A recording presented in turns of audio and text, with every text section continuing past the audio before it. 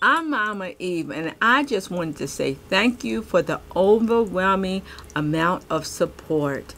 Thank you to all those that have contacted me about the expo or bought your ticket, or maybe you're even vending.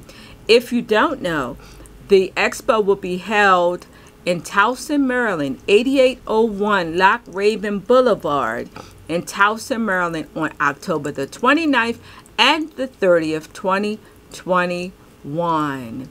So if you're trying to book a room, all you have to do is go down to my descriptions. There's a link there. Just go to that link and it makes it so much easier. Whether you're staying one night or two nights or three nights, they're offering a wonderful, wonderful discount. So I just wanted to say thank you. Oh, yeah. If you haven't purchased a ticket yet, come on, get those tickets because I'm going to give you a discount. Mama 10 just mentioned Mama 10 and you will get 10% off your two-day all exclusive ticket.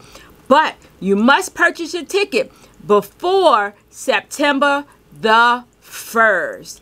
I look so forward to seeing you get those costumes ready because Mama can't wait to see them. All right? I hope that you have a good day and enjoy my video. Kisses!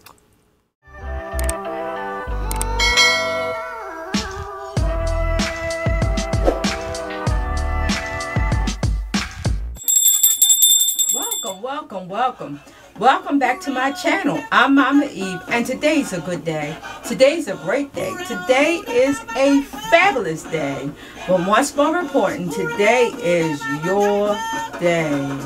Well, welcome back to video 6 in my series entitled Seven African Powers. And today we're just talking just a very little bit about the sixth Orisha here. His name is Ogun. His name means several things. War, first among mortals, or the owner of vitality. Ogun, one of the most powerful, most feared, and most loyal Orishas. Ogun is also Shango's youngest brother. Ogun is known to, or he represents vitality, warfare, leadership, intelligence, medicine, justice, as well as civilization and technology. He is the Orisha of iron, tool, and weapons. He is the one that is accredited to discovering the mysteries of iron and the creation of knives, swords, and blades. His devotees, they might just be mechanics, butchers. They may be soldiers, hunters, cab drivers, train drivers, blacksmiths, surgeons, and or barbers. He is known to protect those that follow him. He is known to protect and to destroy. See, he have a very, very bad temper. Speaking of temper, I'll tell you just this little tidbit. Ogun was uh, married to Oya. But it was against Oya's wishes. It was Obatala that felt as though Oya, being the lady that she is, might just cause or help Ogun to calm down. And Ogun loved Oya. But there was only one problem. Oya had her eyes set on a wonderful, good smelling, tall walking man, young man. His name was Chango. Now you get it? You get the story? Chango, Ogun's brother. And Chango, being the conceited God that he, he is, he knew I can get her just as well as get any other lady that he looked at. And he did. He took opportunity and he stole his brother's wife because now victory belonged to Chango. But long story short, he wound up using Oya to plot against his brother at the end. Wow, what a wonderful, interesting story. Now, Ogun is also known as the first Orisha to journey on the earth. Obatala decided that he needed someone to clear the path for the other Orishas. Now, what he discovered is that the earth was covered with trees and grass and bushes. So Obatala had some other kind of cutlery to cut down the bushes and the trees and the grass, but it became dull. So Ogun was the one that was responsible for making a machete. And that's what was used to break down, to cut down, and clear the path to the other Orishas. Now, his day is June 29th. His, that's his feast day. His weekly day is on Tuesdays.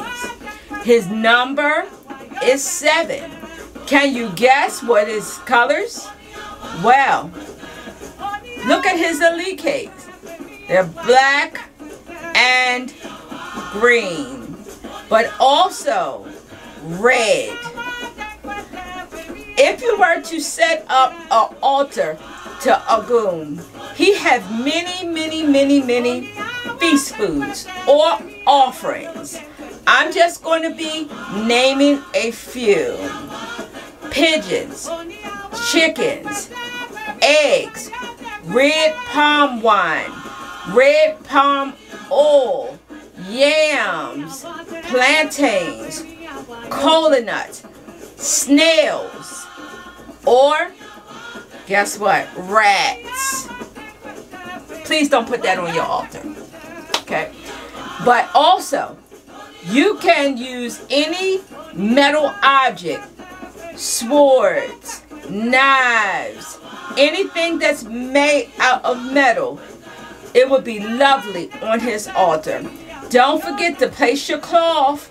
You can use white, you can use green, you can use green and black or black. And let's not forget water. He likes rum tobacco and cigars. What a wonderful Orisha. If you need anything cut out of your life, if you need your paths to be cleared, don't hesitate to invoke Ogun. Now, here's Ogun's prayer.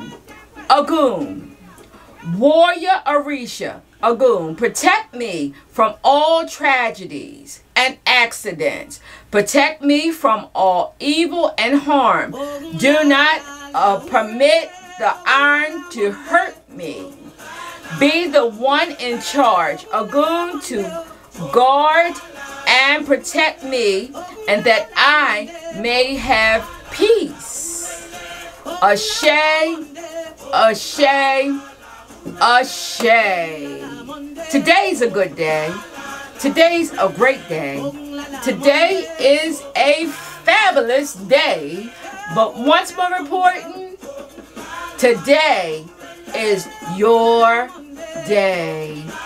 Don't forget, subscribe, give me some thumbs up, and ring that notification bell for my next video. And you just go out and know that you're protected today.